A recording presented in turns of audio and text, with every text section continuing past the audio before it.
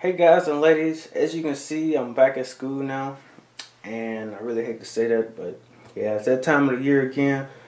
But in a way, I really uh, haven't did many reviews on the iMac itself, really because it's been like 10,000 reviews already out there on YouTube, but there have been some things about the iMac that I really just didn't like, and that's the keyboard and the Magic Mouse. Now, it is some features that these two do have that I, I do like, but on the most part, it was just something that was really just bugging me, and I had to find uh, something else to replace that. But I'm just going to do two separate reviews on that and just show you what I use to replace these. But just to give a little overview about the actual uh, iMac keyboard, this is like a regular keyboard that you find on the notebooks. And it's a really nice keyboard. It's very thin. It's Bluetooth. And overall, the way it looks is nice. It really matches the iMac. So, but the only thing that really got me was the comfort. When I'm sitting at a at a desktop computer, uh, I really want to be as comfortable as possible because I'm sitting at that computer for maybe a few hours doing I don't know whatever it is, homework, maybe playing a game or something like that. But if for a laptop, that's fine. But it was really just the comfort that I that I really didn't like. So let me just show you what I actually uh, bought to replace this keyboard and so far I, I think I'm gonna be really uh, happy with my choice. Alright so what I decided to replace the standard iMac uh, Bluetooth wireless keyboard with was the diNovo Edge Mac Edition keyboard from Logitech. And this um, keyboard I actually purchased off eBay for around $79 really great deal they don't have this on the Logitech website. I'm not sure why. They have the PC edition, but not the Mac edition. You can also find the Mac edition on the Amazon website for about $139. So I really got a good deal getting this off eBay. But uh, this was a really great choice because of some of the features it has. And I'm going to link to some more reviews and things you can check out about this keyboard if you are interested. So I'm just going to do like a really quick unboxing and a quick uh, general overview about some of the features that it has. But let's just go ahead and jump into that and just get this thing unboxed.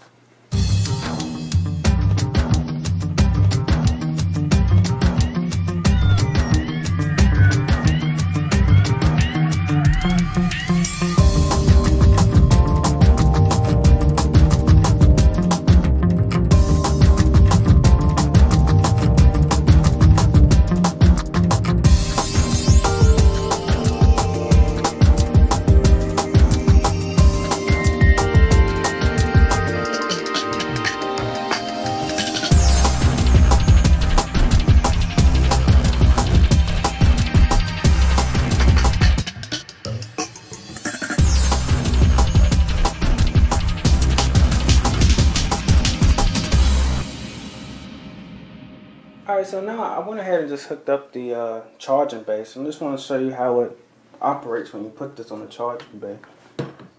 So this again slides down just like that. You see a little LED uh, action went on there. And what it also has, which I really like, is this battery indicator here to the left. It's just showing me the status of how, of how much it is charged up. It has an internal battery on it and it says that if I charge it for 10 minutes, I can use it for, for a day. If I charge it for four hours, it can last up to almost two months. And of course, that's when you're not really using it that much. But uh, to be able to have it for two months or even a month or a week, I mean, it's really a good deal here. So I really like that uh, the battery that they have in it. And now just to give you some uh, general features of the keyboard, I'm just going to switch it on. And the way that you do that is, me take it off the bay. To the right here, it actually has a switch that you push downward. And that turns the keyboard on, as you can see. Just gonna move the charging bay back a little bit. So starting over here to the left, what we have is a uh, launch key or sleep key, launch sleep key for the iMac to put it to sleep. Then we have some media keys for the iTunes, and then we have a left click for the uh, the mouse. So you can use this keyboard uh, without using a mouse as well. So I really like that feature. Then here at the top we have the basic keys that uh, come on the regular uh, Mac keyboard. And we have the regular escape key, we have the brightness keys, we have the expose, we have the um, dashboard key, and the mail key, you know, just the standard keys. So I really won't go into all of this here. And we have, of course, the eject key. So now coming over here to the touch disc touchpad is what it's called. And when I touch this uh, touchpad, you can see that the LEDs light up to show that it is active. It has hyper fast scrolling. I can scroll up or down or left to right. And it has a basic left and right click.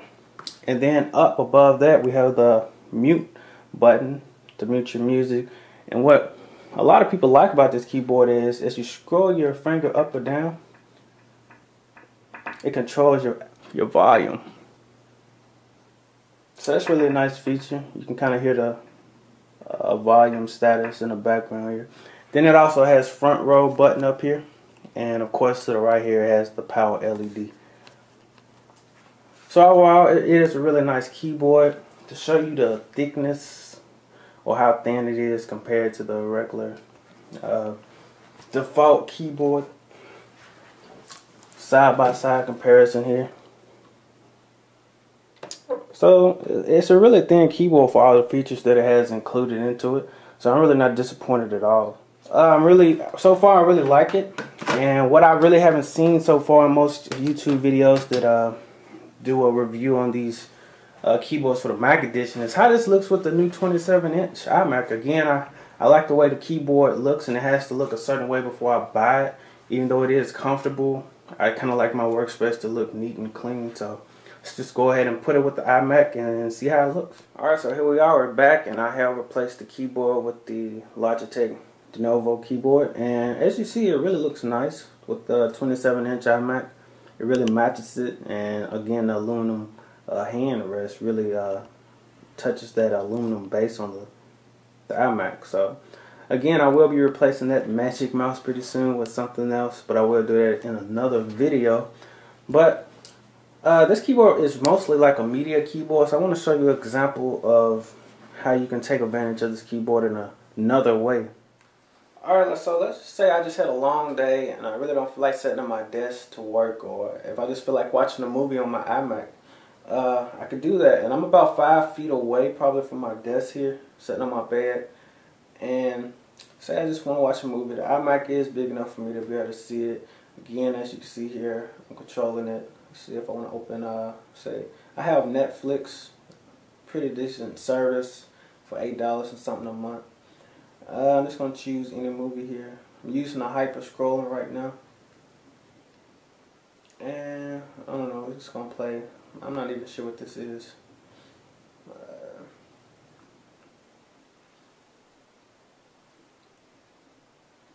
so yeah, it's really easy to use, even though it's small, but it's really easy to use here. It's really like using like a laptop or something like that. And of course I can use this uh, left click button over here. See how this works. Hmm, that works pretty well too. So it's really a really nice media keyboard if you just want to control things from a distance. Maybe have some music or something going on. And of course I can put that in full screen and just adjust the volume.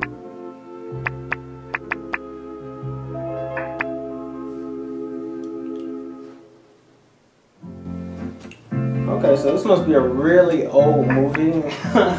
I mean to pick one really that old, but uh, yeah, you get the point. It's a really decent keyboard, and again, I paid $79 for it when it's originally priced about uh, I think $159 at least for the PC edition. So hope you like this video, provide enough information if you do have a Mac or if you just in a technology like I am and you just feel like checking out this video. So again, subscribe, let your friends know, and uh, thanks for viewing, and I'll see you next time.